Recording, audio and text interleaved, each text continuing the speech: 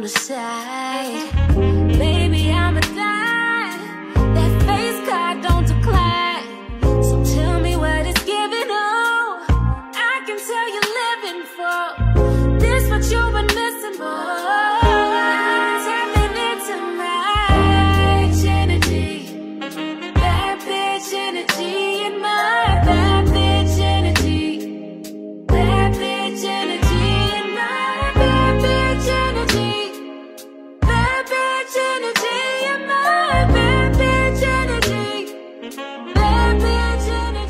New Batwoman. And she knows that she is so much more than the world has to offer.